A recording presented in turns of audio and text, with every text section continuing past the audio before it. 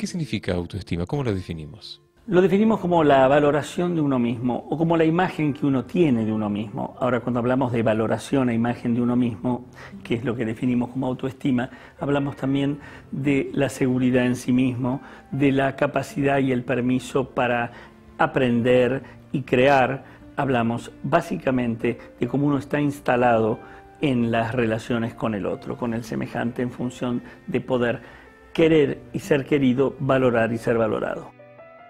Cuando uno sabe que es alguien que Dios lo puso en la tierra con una misión y con un objetivo, sabe que vale y vale para lo importante. Esa es la verdadera autoestima.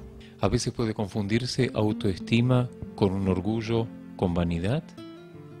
Puede confundirse cuando la autoestima está basada en el ego, pero cuando la autoestima está basada en que le dieron una misión, que más allá de que uno la eligió, porque uno nació y no eligió nacer, se le dio una oportunidad.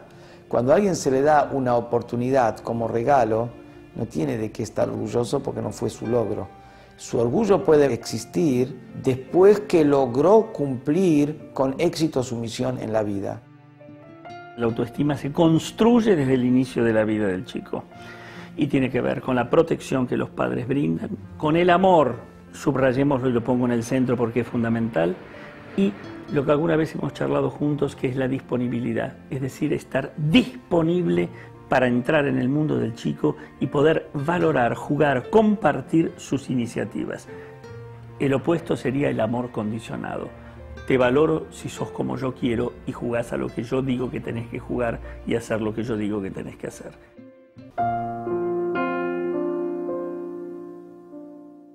Cuando la persona es objetiva y no se le suben los humos a la cabeza y no es engreído, sabe que tiene virtudes y que tiene defectos. Y sabe que las virtudes son para ser utilizadas y los defectos son para ser superados. Entonces la persona, mientras que tiene defectos, sabe que no tiene de qué estar orgulloso. Y por el otro lado, tampoco no es un trapo de piso. Dios le dio una misión, la puede cumplir, le dio los elementos para cumplirla, tiene las virtudes. Lo que tiene que hacer es utilizar esas virtudes. ¿Cómo logramos convivir con esas virtudes y defectos que conforman esta autoestima? Es una autoestima que se ha solidificado, que ha tenido, solidificado me refiero no rigidificado, sino que se ha construido, que proviene de esa buena relación con su entorno familiar y con el entorno luego escolar y social al que uno ingresa. Cuando la autoestima funciona, uno tiene ese sentimiento particular que lo lleva a poder conectarse con el otro, a confiar en lo que uno puede pensar, a animarse a los riesgos de la vida. Si en cambio la autoestima es dañada, frágil, agrietada, lo que vamos a tener es una desvalorización que es el camino de entrada hacia la depresión. El instinto que interfiere para que el hombre no cumpla su misión en la tierra trabaja 24 horas al día, 7 días por semana, 365 días al año. Entonces, todos los medios que él va a encontrar para que una persona no cumpla con su misión, los va a utilizar. Incluso medios como que la persona se siente mal porque pecó, lo va a utilizar para que la persona siga pecando.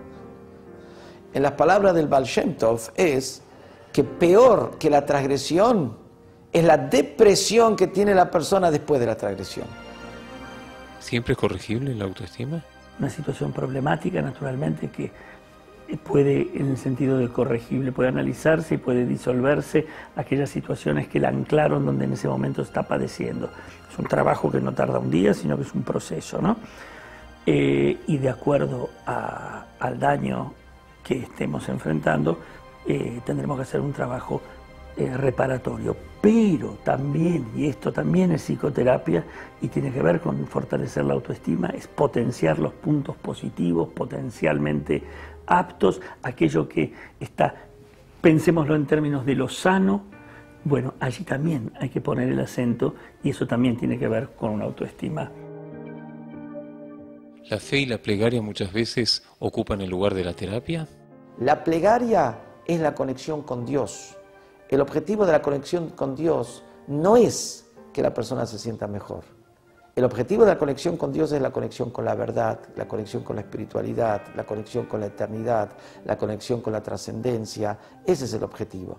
Una persona que está conectada con la verdad, con la eternidad, la trascendencia, por supuesto que es sano en su pensar, es sano en su sentir, es una persona que está bien. No es que utilizamos a la verdad para sentirnos bien. Cuando estamos en la verdad, nos sentimos bien. Muchas veces la autoestima frágil lleva a unos sentimientos de desvalorización, tristeza, inhibición y fracaso que conducen, dado que estas son situaciones de sufrimiento, a que un individuo consulte y pida una ayuda terapéutica. Ahora, la terapia estaría destinada allí a fortalecer su autoestima para que pueda desprenderse y construir su propio mundo. Si le genera una situación de dependencia permanente, lo que tenemos es en realidad una distorsión del objetivo terapéutico. Nosotros nos analizamos nada más que una vez al año en el mes de Elul previo a Rosh Hashanah y Yom Kippur. Ojo, estamos hablando en términos de un autoanálisis profundo. Y lo más importante del autoanálisis no es el autoanálisis en sí. Lo más importante del autoanálisis es la conclusión que la persona saca de su autoanálisis. Cuando la conclusión es, por ende, a partir de ahora pongo doble esfuerzo para superarme. A partir de ahora me cuido de tal o cual manera para no caer en la trampa. A partir de ahora me corrijo en tal y tal cosa y lo voy a hacer con fuerza y con felicidad y alegría. Ahí el autoanálisis fue sano y positivo. El autoanálisis y la autoestima no necesariamente son eh, sinónimos. Eh, el análisis lo que intenta es brindar una posibilidad y un esclarecimiento que lleven a la construcción de una mejor autoestima y por supuesto de una autoestima más organizada o más este, promisoria, el sufrimiento tiene mucha... Mm, eso lo enfrenta de un modo probablemente mucho más este, inteligente y mucho más eh, productivo. Hay un concepto extraordinario del Alterrebe donde dice que la persona tiene un cuerpo y la persona tiene un alma que es una parte de Dios. El cuerpo tiene sus defectos y debilidades y las tiene, es una realidad. El alma tiene virtudes extraordinarias, es una chispa de Dios con toda la potencia, la energía y la verdad y la luz que contiene.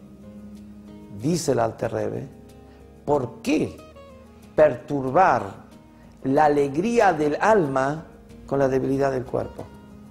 Uno tiene que ocuparse de manejar las debilidades del cuerpo, contenerlo, educarlo, hay que ocuparse de eso. Pero no por eso voy a perder ese sentimiento de felicidad que posee un alma, posee una chispa de Dios y tengo una misión sagrada a cumplir en la vida.